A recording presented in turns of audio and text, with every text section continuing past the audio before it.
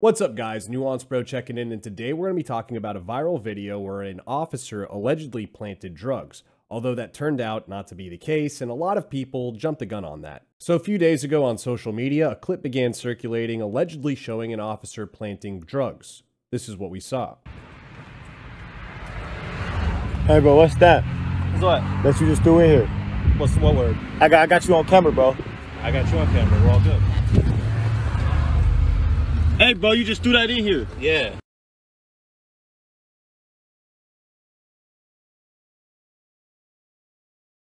Now, this was a short 16 second or so clip that made the rounds, and you see an officer throw something in, looks kind of like a baggie, and the guy says, Hey, you just planted something, and then he confronts the cop about it, and that's where it cuts off. Now, immediately, my suspicions rise because I'm wondering, well, was that all the guy filmed? Was there video before that? Was there video after that?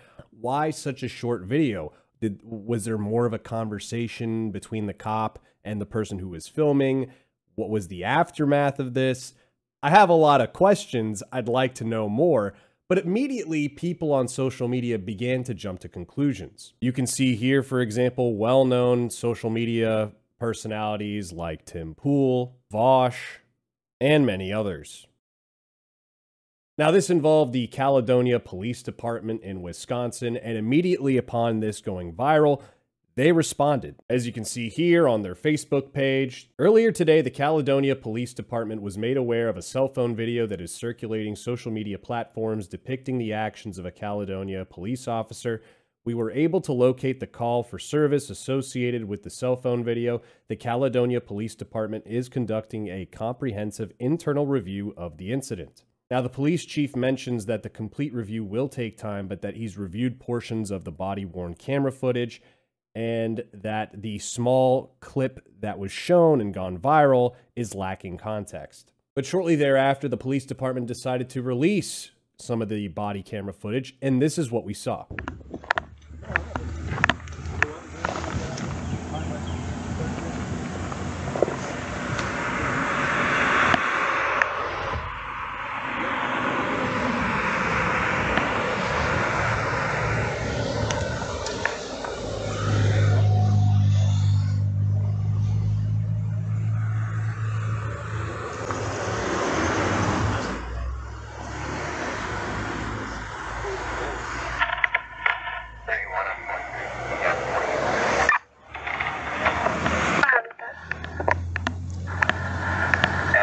I got specks of green. You're good to search if you need to.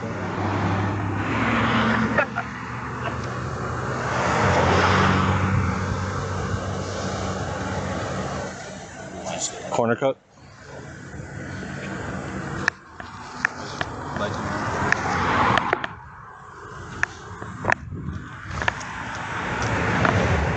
What's that? What's what? What's what word? I got, I got you on camera, I got you on camera. We're all good. Bro. Hey bro, you just threw that in here. Yeah, because it was in his pocket, and I don't want to hold on to it. That's on their body cam that they took it off of him. So You just threw that in here, bro. I got you on camera, man. I'm telling you where it came from. So I got you on camera, bro. it's an empty baggie at the moment too. So okay, buddy. Yeah,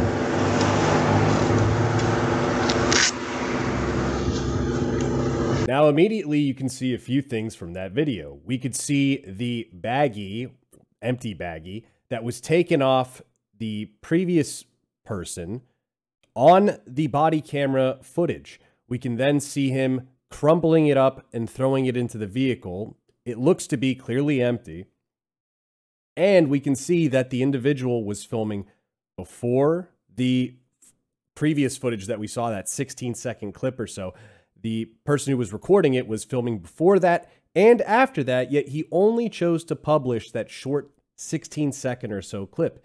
Very interesting.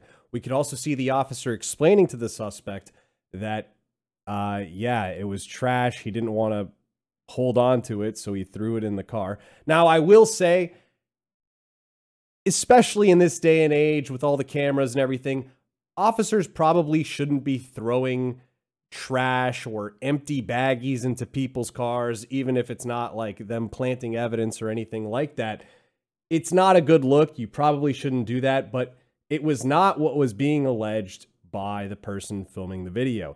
And the person filming it, who did not publish the additional video that they filmed, was clearly trying to avoid what the officer said afterwards, which was, Yeah, we took it off your buddy that we pulled out of the back and that's all on camera. We have that on our side, and now you have that on your side. Also, the person who filmed this video in the first place, the person you see in the body camera footage holding his phone, uh, was someone who goes by the name of Glockboy Savu over on Facebook. And here's what he said accompanying his post. He said, First time ever seeing a cop try to throw some on me just to get reason to search the car 100 he ain't even know I was recording 100. You can tell he was nervous 100. Hashtag trench kids worldwide. Now, I don't know what a lot of that means, but he was claiming the officer didn't know he was being recorded. If you watch the body cam footage, it looked pretty clear that he was recording. It looked pretty obvious. It kind of looked like the cop knew he was recording. And he didn't seem very nervous at all from what I saw. Now, in moments like this, when people realize that they've made a mistake and they rush to judgment, a decent person would often correct that mistake, apologize, or delete the misinformation that they put out before. Uh, and I just want to highlight an example of Casey Neistat. So, Casey Neistat, who's a very famous YouTuber, is one of the people who initially tweeted out this out of context video saying, well, this is fucked. And then upon learning what the video showed was not what was being alleged, he decided to correct the record. He said, Yesterday, I retweeted a video of a cop allegedly planting something on a black man in a car. The video seemed clear, but like most hot takes, there was more to the story. I deleted the tweet and encourage anyone who saw it to read this more complete explanation. TLDR, which means too long didn't read, the cops took a passenger out of the car. The passenger had an empty baggie on him. The cop then walked back up to the car and threw the empty baggie in. The man in the front seat who filmed the original video only saw the cop throw a baggie in and assumed it was a plant. But then others like Tim Pool decide to respond to people calling him out for this with older tweets of his saying abolish the police and another one saying abolish the police, which is obviously not an opinion he actually holds because this is a thing that Tim does on Twitter where he's like, well, anything I tweet could be actually my opinion or it could be something that's not my opinion at all. So instead of owning up to the fact that he jumped the gun, rushed to judgment, he likes to pretend, oh, it was just a joke, bro. It was one of those tweets where I, you know, just said whatever.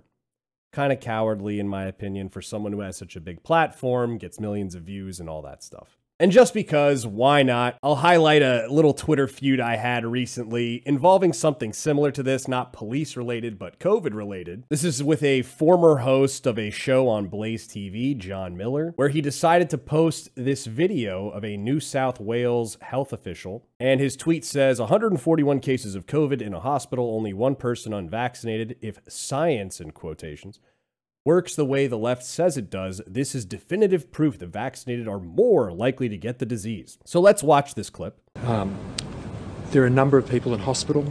Um, 141 people are in hospital with COVID at present, and 43 are in intensive care, 18 of whom require ventilation. So this is a very serious disease. Of those 141, 60 um, are under the age of 55 and 28 under the age of 35 and of the 43 people in intensive care, uh, one is in their teens, seven are in their 20s, three are in their 30s, 14 are in their 50s, and 12 are in their 60s, and six are in their 70s. So this is affecting people of all ages with very serious disease. All but one um, are vaccinated. One person has just received one dose of vaccine. So there you saw it. It sounds like the official is saying that of all the cases in New South Wales of when it comes to hospitalizations, all of them were vaccinated except for one. Now, to me, knowing that this goes against a lot of the data, especially, you know, what the government has been trying to convince people to do, which is to get vaccinated, uh, it looks like he's reading off some numbers here and there, but then he sort of last second throws in this, oh, by the way, all but one were uh, vaccinated you know, it seems like the Occam's razor explanation would be he mixed that up with saying, oh, all but one were unvaccinated or all were unvaccinated except for one that was vaccinated partially or whatever. That's what it sounded like. He was, you know, he just mixed that up. So I decided to look into it, and here's what I found. Uh, Dr. McAnulty, would you be able to clarify? I think you might have misspoken before about the number of people in ICU that were or weren't vaccinated. Could you just clarify that stat out loud for everybody? at home? Thank you. Yes, I think I misspoke before. So, of the 43 people in intensive care units, uh, 42 have not been vaccinated. One person had just one dose of vaccine. So, as you can see there, during the same press conference, it was clear that he made a mistake. So, he was asked a question, he came back on, and he clarified the point, saying actually the people in uh, uh, in ICU that he was talking about all were unvaccinated except for one who was partially vaccinated. So that was the correction. He came on, he made the correction. He was quite embarrassed that he stated otherwise earlier on, and he corrected the record. But Mr. Miller didn't show that, and he didn't, I guess he didn't probably know about that, to be honest. But usually, a normal person, upon being presented such information, would say, Oh, dude, my bad. I didn't know that clip existed. I just, you know, was sharing something I saw on social media, but I appreciate the correction. But this individual decided to pretend as if he let the truth slip in the beginning, but then decided to lie after the pressure became too great or something. I'm not kidding. You can see his tweet in response to me saying some sort of, uh, you know, pretending like this is the quote from the guy or something like a, a, parody saying sir i think you misspoke because the numbers you stated don't affirm our narrative that this is a pandemic only among the unvaccinated could you please restate them in a way that does i mean just unbelievable some people they'll never accept any evidence that you put forward that conflicts with their uh, preconceived notions about something. Anyways the moral of the story is guys don't rush to judgment especially when it comes to these police encounter type videos. Do your digging, do your research.